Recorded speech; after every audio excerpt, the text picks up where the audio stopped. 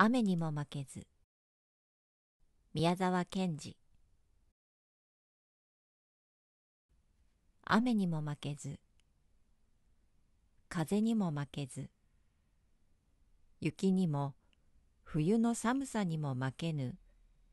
丈夫な体を持ち。欲はなく決して怒らず。いつも静かに笑っている。一日に玄米四合と味噌と少しの野菜を食べあらゆることを自分を感情に入れずによく見聞きし分かりそして忘れず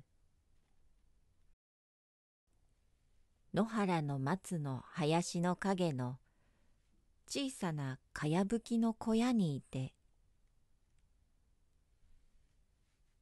東に病気の子供あれば行って看病してやり西に疲れた母あれば行ってその稲の束を追い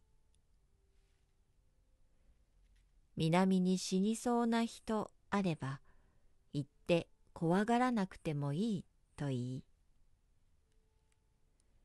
北に喧嘩や訴訟があればつまらないからやめろと言い。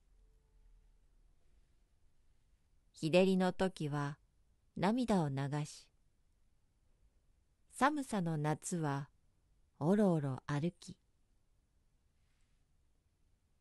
みんなにデクノボーと呼ばれ褒められもせず苦にもされず。